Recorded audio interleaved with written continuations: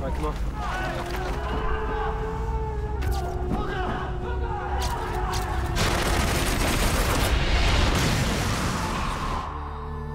Two more days, man. Two more days then, but no more. Then we go. No questions asked.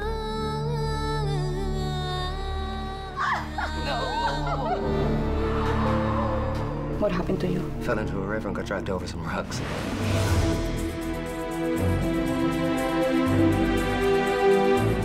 Best friend David, we went to Kurdistan together, but we split up.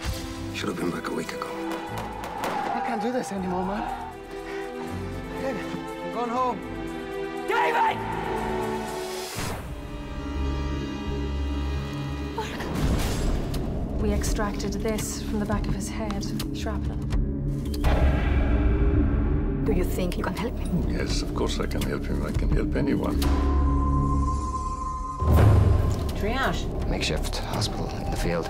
Soldiers that came in that were too gravely wounded. Their own doctor took them outside and killed them. Mercy killings.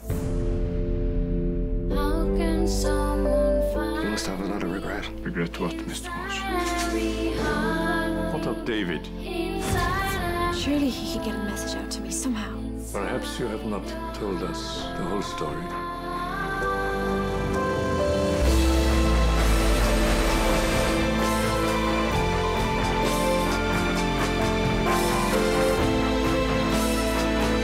Why are you so concerned about what happens to the dead?